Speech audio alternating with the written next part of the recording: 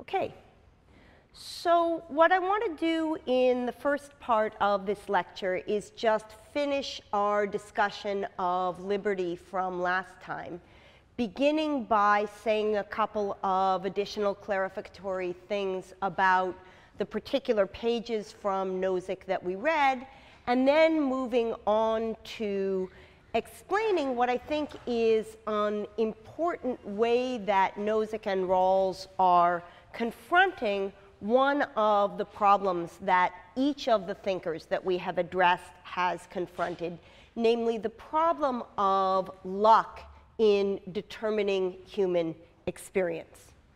And when we finish that, we'll move on to the two empirical readings that we did for today.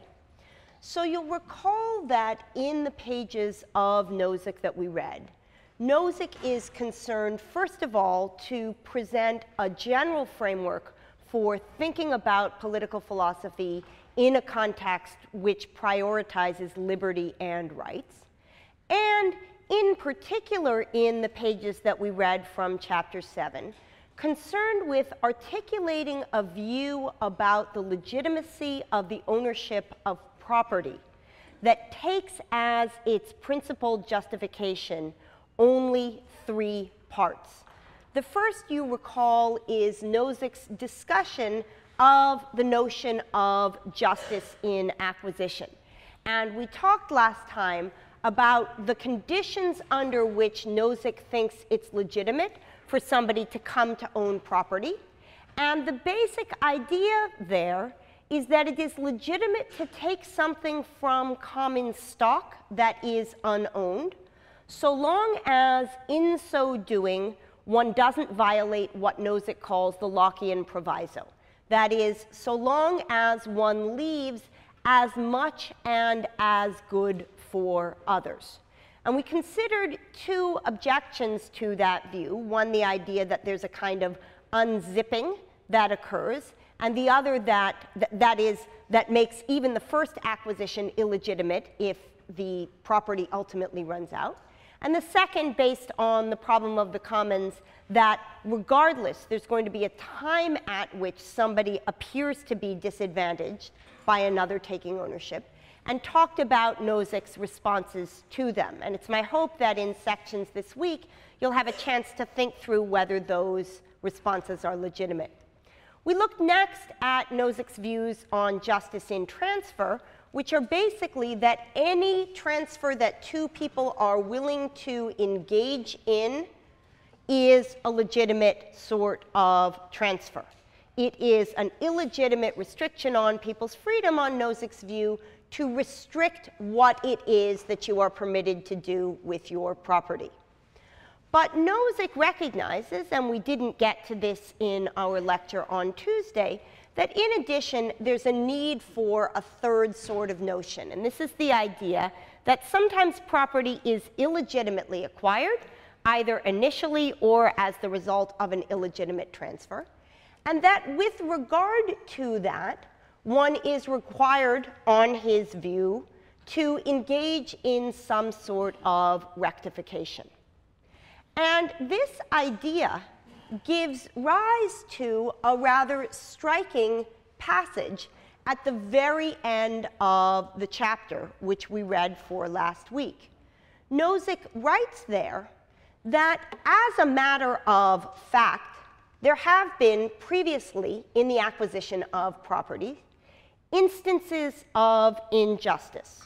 This nation, for example, was founded on black slavery. And Nozick notes that those from the least well-off group in society right now have the highest probabilities of being the descendants of victims of the most serious injustice. As a consequence, he says, perhaps the following rule of thumb is a reasonable one for us to make use of. Perhaps we ought to do what Rawls suggests and organize society to benefit the least well off.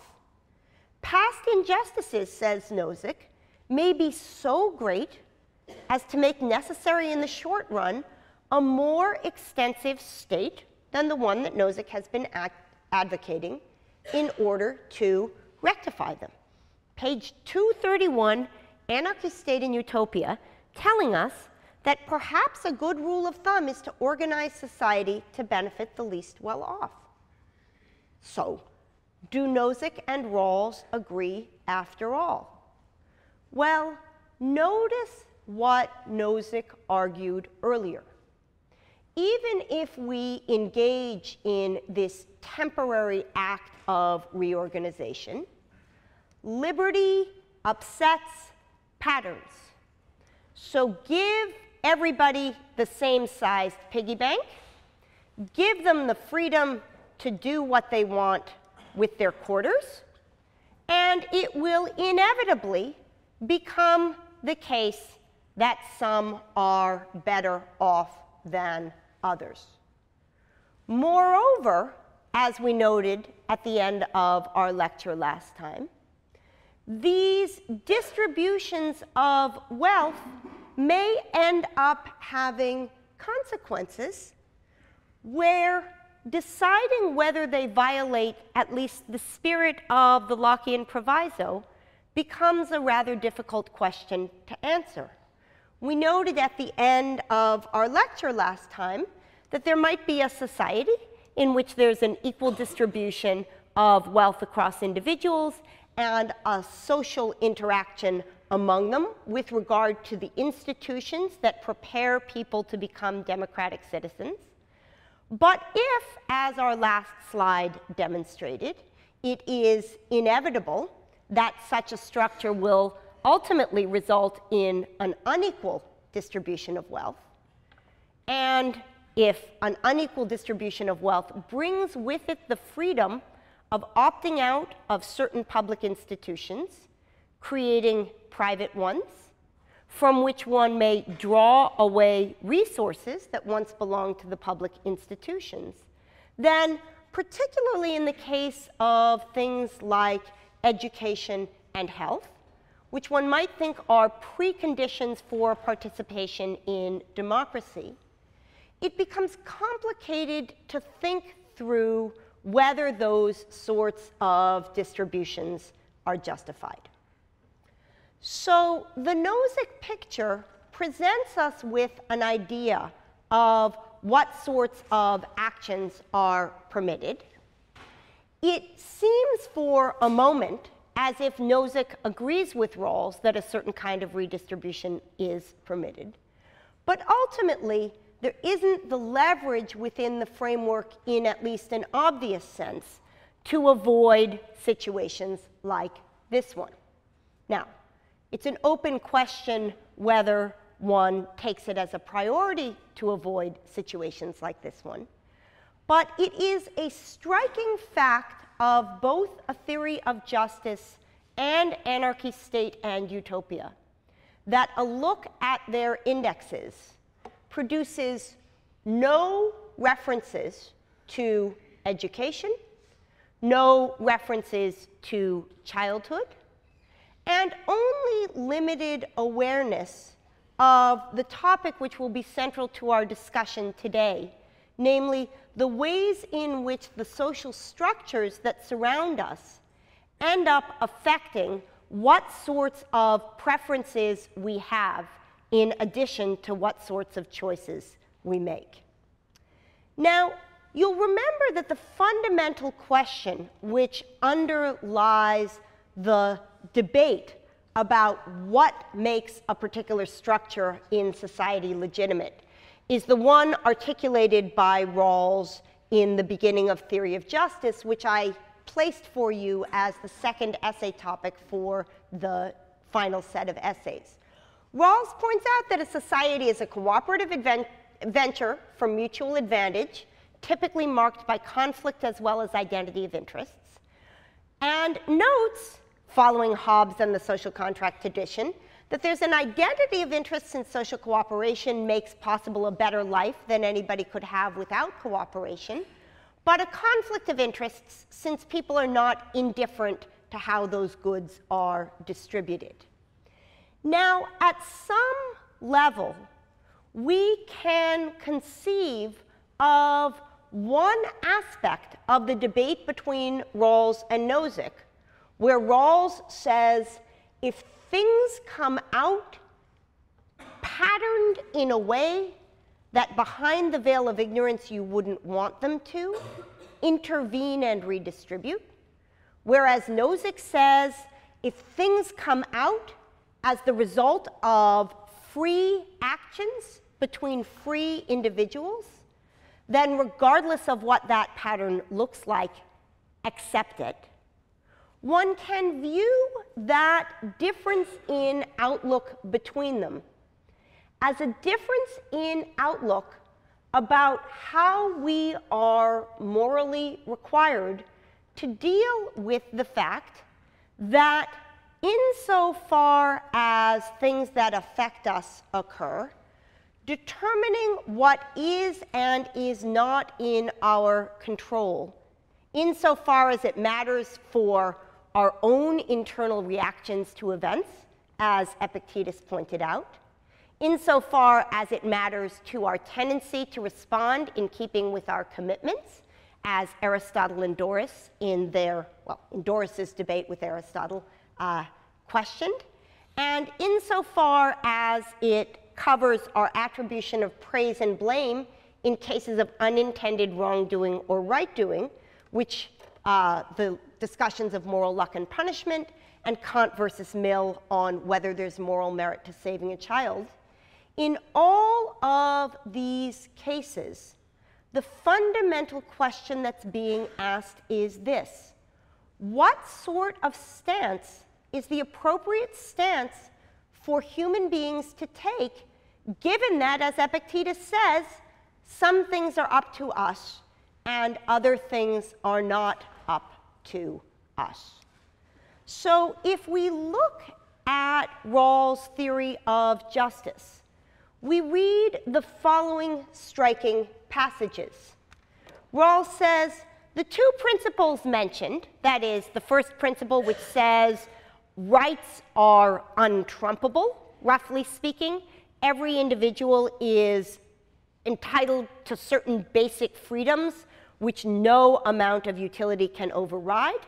And the second principle, which says inequalities are to be distributed as the result of offices which are equally open to all and in such a way that inequalities are to the benefit of the least well off. Rawls says the two principles mentioned seem to be a fair agreement on the basis of which those better endowed or more fortunate in their social position, neither of which we can be said to deserve, could expect the willing cooperation of others when some workable scheme is a necessary condition of the welfare of all.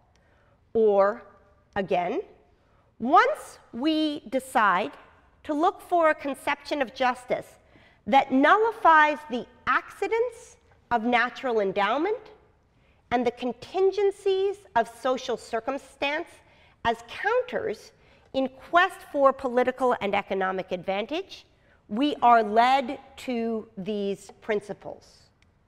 Or again, these principles express the result of leaving aside those aspects of the, more, of the social world that seem arbitrary from a moral point of view.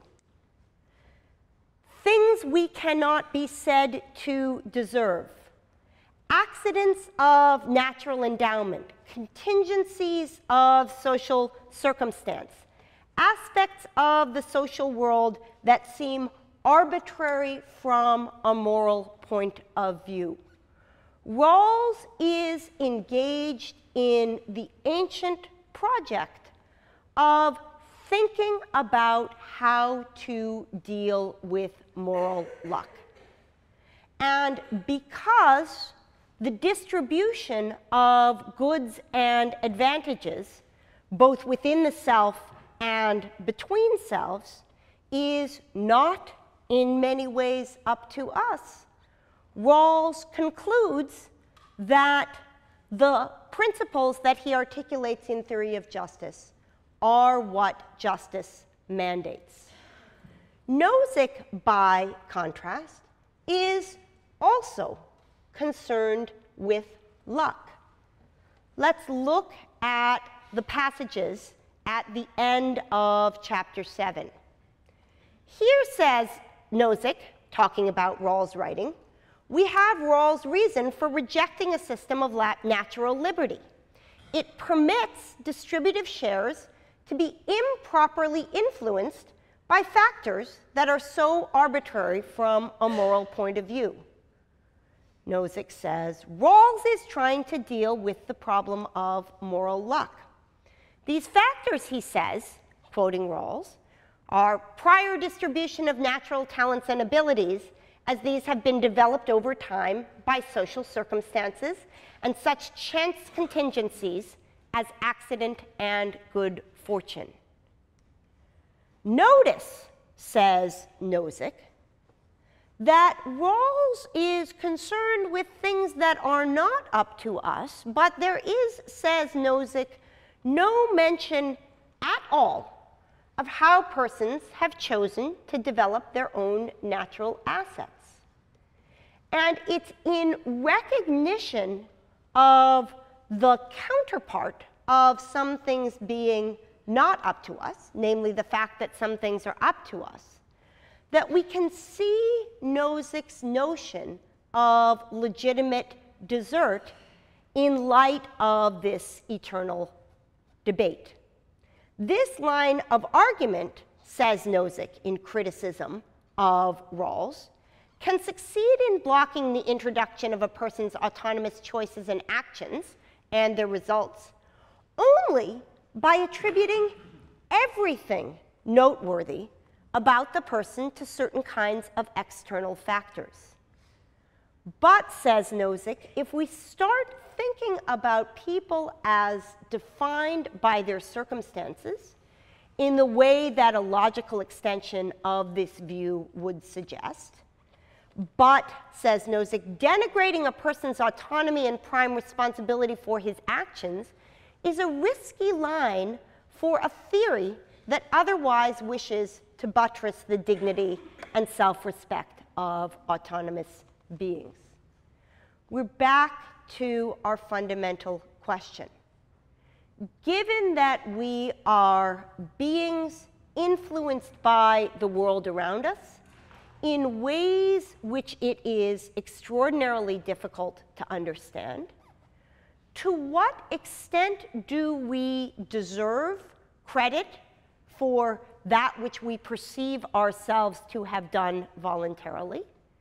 And to what extent are our characters and circumstances so inextricably linked with things beyond our control that thinking from the perspective of us as willers of structure in the world is a mistake altogether. So I want to point out to you that what started out as looking like a debate about the legitimacy of taxation ends up looking like one of our central philosophical debates. Again and again, we're confronted with our status as beings in the world that we both affect and are affected by. So that theme in two particular empirical articles is what I want to address in the remaining 40 minutes of 30 minutes of lecture in the context of our social structures discussion. So remember that in this political philosophy unit, we began with a reading of Hobbes' Leviathan and encountered his argument that because of certain facts about human nature, basically our desire to control goods around us and the limitation in the number of goods that there are, we will, in a state of nature, be in a war of all against all. And then we looked at a mathematical representation of that in the form of Prisoner's Dilemma and then considered two particular responses in the 21st century, 20th century Western Anglo-American philosophical tradition, namely Rawls and Nozick, to think through what a legitimate society looks like in the context of facts about human nature.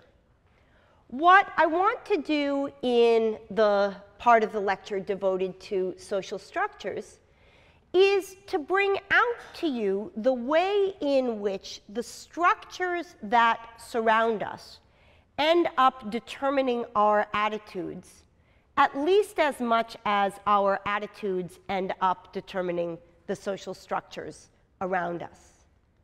This is a theme that's present already in Aristotle.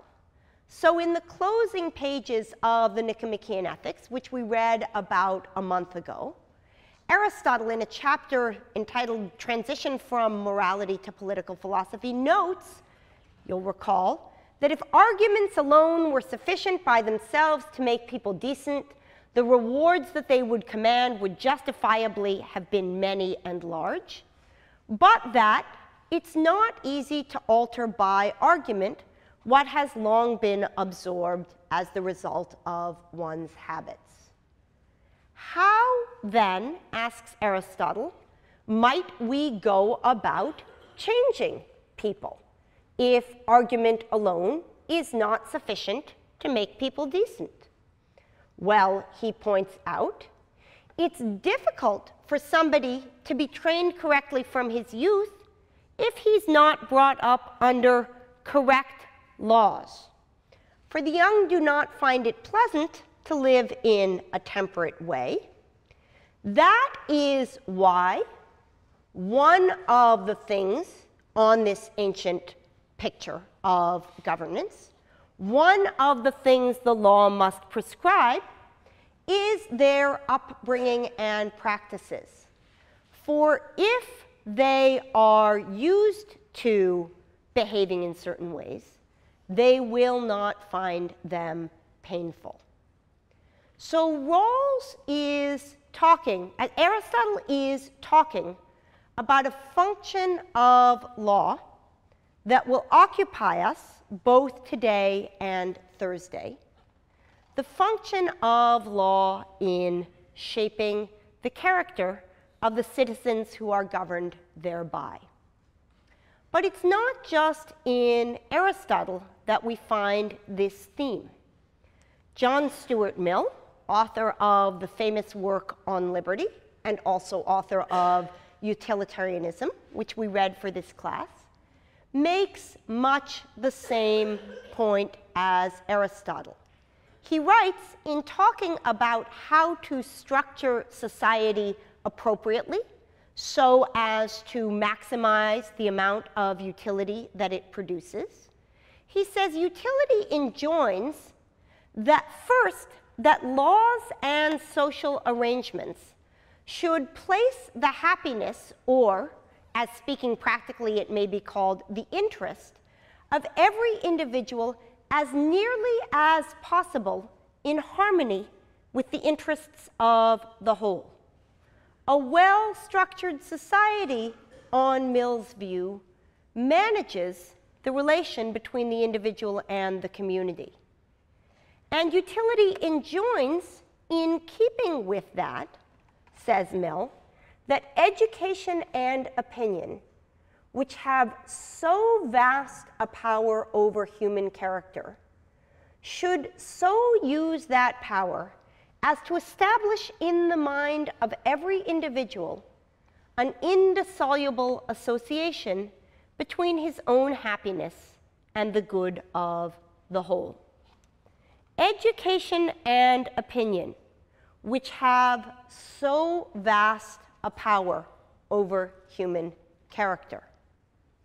That's the theme of today's lecture.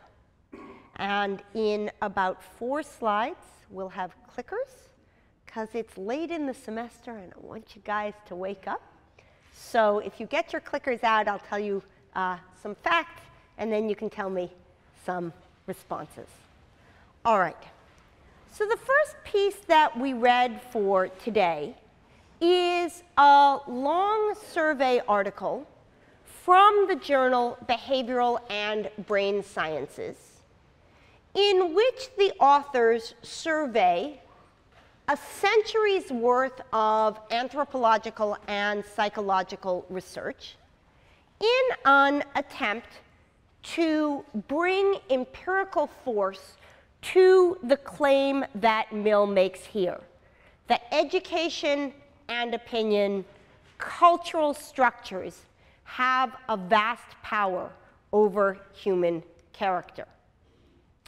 The authors argue in this paper that subjects whom they call weird, that is, Western educated, industrialized, rich, democratic citizens, people who have been brought into consciousness in a society which has these five features. They argue that these subjects are atypical, that is, differ in fundamental ways in their attitude towards the world. If you contrast them with subjects who come from small scale, non industrialized societies, if you contrast them with individuals who come from non Western industrial societies, if you contrast them with individuals who come from other Western industrialized societies, and even if you contrast them with other citizens of their own nation who are not university educated.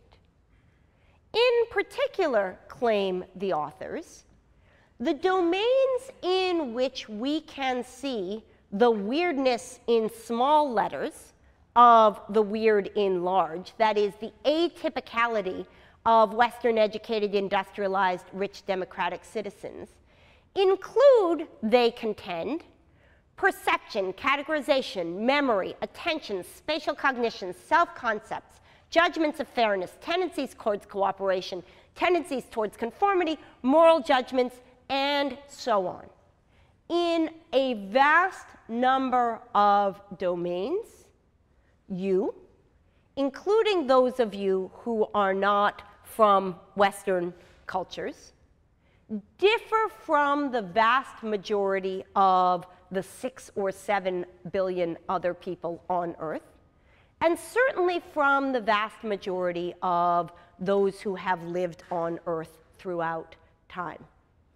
As a result of the cultural experiences you have had, your perception and apprehension and patterns of attention have been affected. So the authors wrote their article with a particular goal in mind. They wrote it in an effort to argue that psychological research of the sort which fills journals, including the one in which they published this piece, should be based on broader population samples.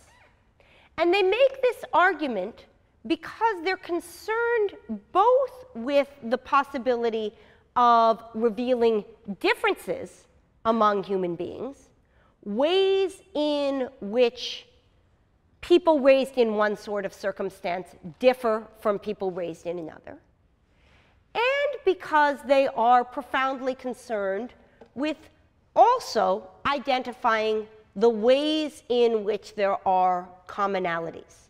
And you'll notice as you read through the article that each of the four main sections begins with a series of contrasts between weird folks and whatever the contrast group is, but closes with a set of identified commonalities between the two groups, suggesting at least prima facie that there are deep-seated similarities, presumably the result of evolutionary pressures. But this is not a course in evolutionary psychology. This isn't even specifically a course in the methodology of psychology. So why did we read this article? Four reasons that we read it. The first is that this is a course, as you know, called philosophy and the science of human nature. and this article, perhaps more densely than any article I can think of, contains a vast number of extraordinarily cool facts about ways people might be.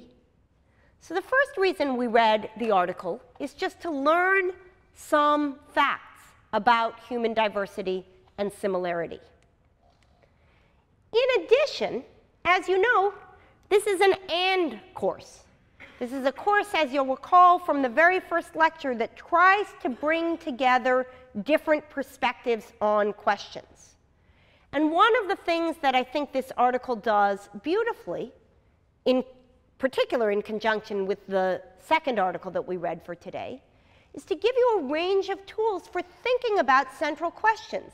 One of the things that the article challenges you to do when you observe a behavior and make a generalization on its basis is to ask yourself how generalizable really is that behavior. But this is also a course, and this is the third reason we read the article, that introduces you, as you know, to a dead guy on Tuesday and CogSci on Thursday, today being an honorary Thursday.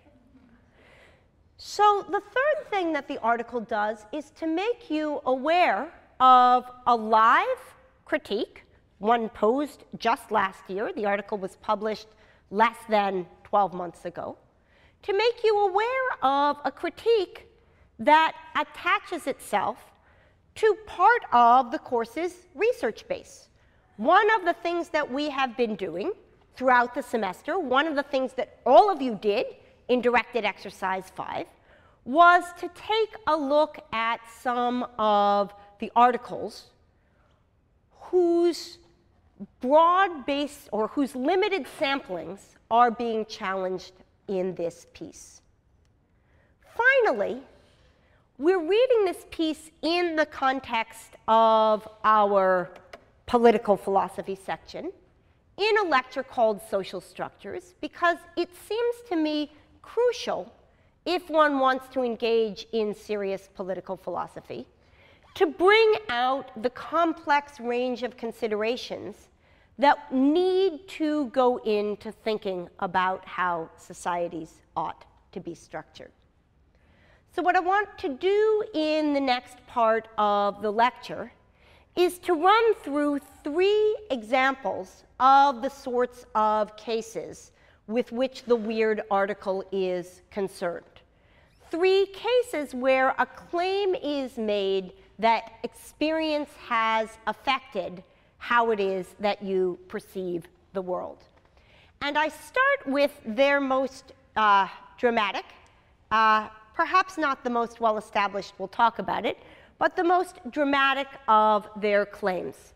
So I'd like you to take out your clickers and look at these things here and tell me to you whether the two segments appear to be such that the top is shorter than the bottom or to be such that they are of the same length, we're talking about just the line segments here, or to be such that the bottom is shorter than the top.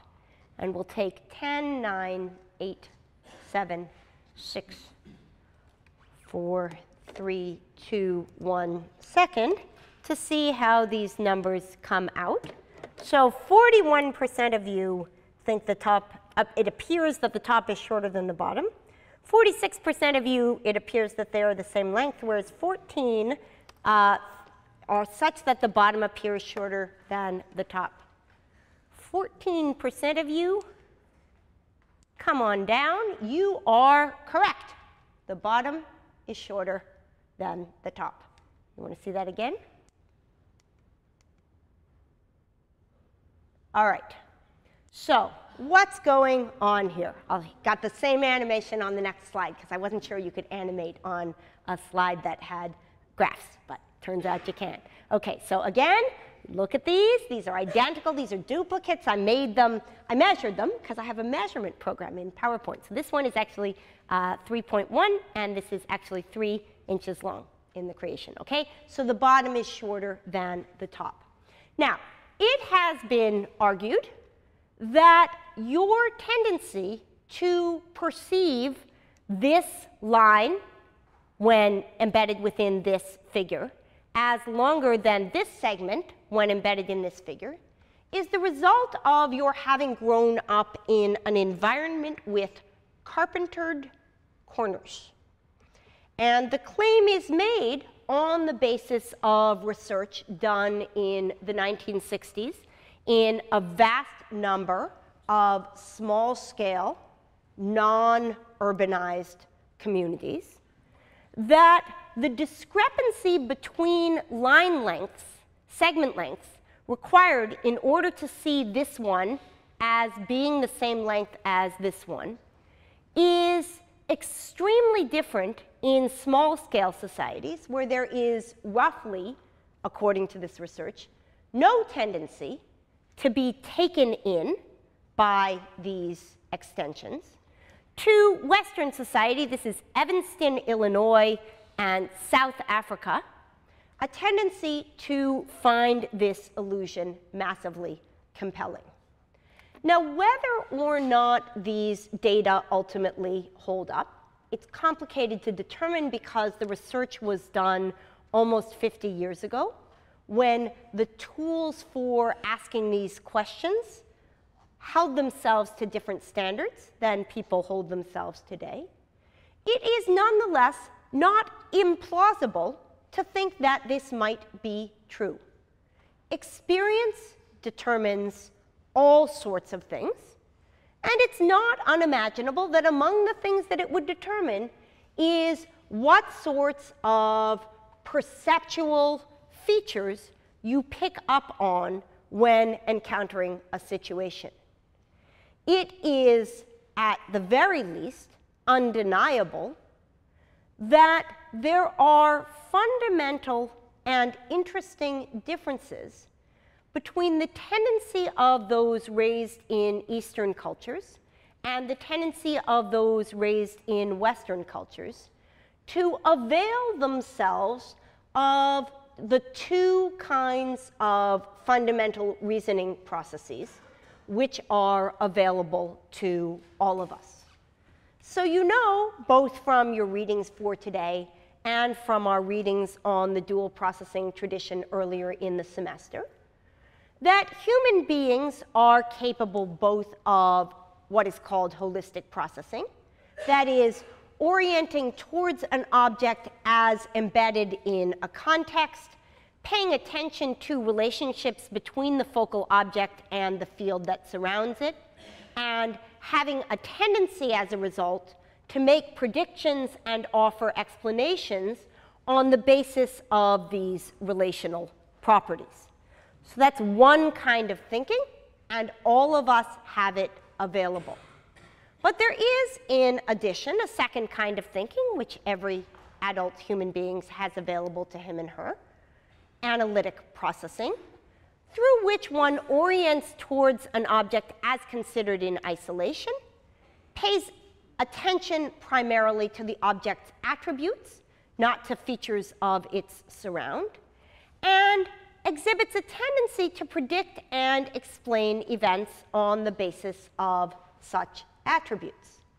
So you'll remember when we were reading the Doris critique of Aristotle, and the suggestion was made that it's not features of the individual himself, not attributes of the object, that determine how it is that somebody will act in a potentially morally demanding situation, but rather features of his relationship to his context, whether he's found a dime in the phone booth, whether he's in a rush. The claim that Doris makes in offering that critique of Aristotle, a version of what's called the fundamental attribution error, is that there are cases where analytic processing leads us awry, and holistic processing does a better job of explaining. There are likewise cases where focusing our attention profoundly on the object itself and not attending to irrelevant features of the environment will leave us better off. It is striking, given that, that there appear to be reliable and statistically significant differences over time in members of Western and non-Western cultures with regard to which of these attitudes they take on as a default. So, in a series of articles that have been written over roughly the last decade, Richard Nisbett and a number of collaborators have presented subjects with uh, cues like the following.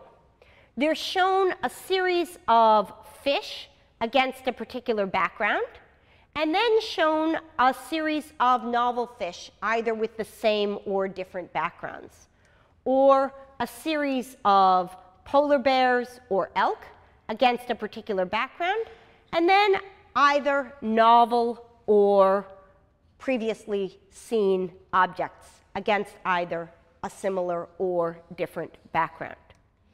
So what advantage do subjects demonstrate when they see an object that they've seen before against a familiar background? For the Japanese individuals whom Nisbett and his collaborators tested, an object seen against its original background yields a high accuracy rate. If you show it without a background at all, there's less accuracy. And if you show it against a novel background, there's a striking decrement in performance. And again with the wolves, if you show it against the original background, high accuracy, show it against a novel background, a significant decrement. These are clean patterns. What happens with Western subjects? Different pattern altogether. Original background doesn't help with re-identification. No background helps a lot. The distraction of additional information has been removed, and a novel background doesn't leave them much worse off than the original. Ditto with the wolves, original background produces some but not much advantage. I'm going to skip the next example, which suggests, and you'll be able to watch this uh, yourselves on the slides that I post, that again, there are contexts in which Westerners appear to be better at absolute tasks, non-Westerners at relative tasks. Now, what sort of business do we have making these generalizations about cultures? Isn't this an outrageous sort of thing to be doing? The claim is not that culture determines everything about an individual. The claim is merely the unsurprising one that growing up in circumstances where your attention is, as a matter of course, directed in particular ways will lead you exactly in the ways that Aristotle suggested to find those ways of responding to be natural and habitual. So what I want to do in the closing five minutes of the lecture is to give you a final example from the WEIRD paper to run you through some of the cases on which the claim that Americans stand out relative to other Westerners on phenomena that are associated with independent self-concepts and individualism is based.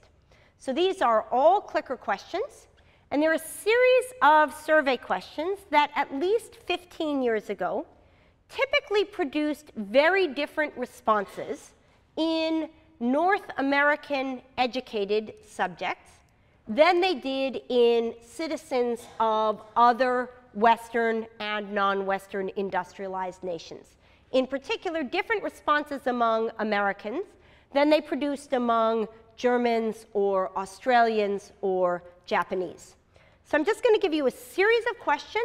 We're going to see how your numbers come out, and we'll compare them to how those data looked in the original studies. So here's your first question. While you are talking and sharing a bottle of beer, I know none of you would ever do this. This is something to imagine for when you grow up. When you are talking and sharing a bottle of beer with a friend who is officially on duty as a safety controller in the company where you both work, an accident occurs injuring a shift worker, an investigation is launched by the National Safety Commission, and you are asked for your evidence. There are no other witnesses. What right has your friend to expect you to protect him? A, a definite right. B, some right. D, no right. So investigating commission, do you protect your friend? Let's see how the numbers come out. Okay. 8% of you think there is a definite right. 48% of you think there is some right, and 44% of you think there is no right. Okay, let's see whether we can get these numbers up again. Ah. Gosh, okay. I was going to show you how your numbers compare to the traditional numbers that were ascertained. What I'm going to do is leave these slides up for you as always, and you can go and check the comparison. The idea is that in the original studies, Americans showed 94% of them in this column. You show 92% of you in the two of these. Whereas if you looked across other countries, people gave different answers. The claim is not that one or the other of these outlooks is a legitimate one. The claim is just to alert you to the fact that there are radical differences in how people think about the world. Let's try a next one. Uh, okay, so I don't know why we've got the reveal here, so don't pay no attention to the numbers that appear here. Uh, do you think that the only real goal of a company is to make a profit? Or do you think, B, that a company, besides making profit, has the goal of attaining the well being of various stakeholders, such as employees, stockholders, and others? Your numbers suggest a tendency to think that it has other goals as well. But 33% of you think the only goal of a company is profit. Among Japanese citizens surveyed in 1993, only 8% sat where 33% of you sit. If you apply for a job in a company, is your thought, one, that you will almost certainly work there for the rest of your life? Or is your thought that you're almost sure that the relationship will have a limited duration? Let's see how these look.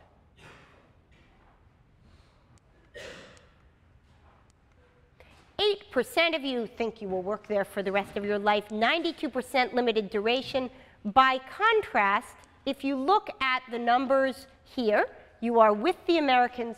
41% of Japanese asked that, uh, sorry, 60% of Japanese asked that similar question, gave the answer that you did over and over and over again, and I'll leave you three more examples on the slide to look at, you see that whatever it is that you are like, if you are like the Japanese with 41%, you are different from the Americans. If you are like the Americans with 99%, you are different than the Japanese.